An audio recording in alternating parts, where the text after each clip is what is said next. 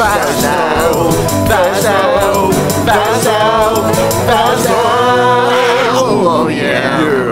Hello folks, my name is Endrit and today we're going to do this in Godot. Like you can see, I have my own mouse cursor and my mouse is hidden. On my scene I have a Node 2D with an animated sprite. This is going to be my mouse. What we're going to make is very basic. So just add a GD script to the node. Before we really start, I'm going to give you more information. If you search for input, you can see here the mouse mode. There are four mouse modes. We're going to use the second one, the mouse mode hidden. Now on our GD script, under the ready function, I'm going to hide the mouse cursor. To make that we need to type input.setMouseMode. Inside we need to put input.mouseMode hidden. This is the line that is going to hide our mouse as long as the scene starts. Now under the delta function I'm going to set the position of the node to the mouse position. So just write position equals to get global mouse position. Now let's see if it's working. It's working. You're done. Leave a like and subscribe.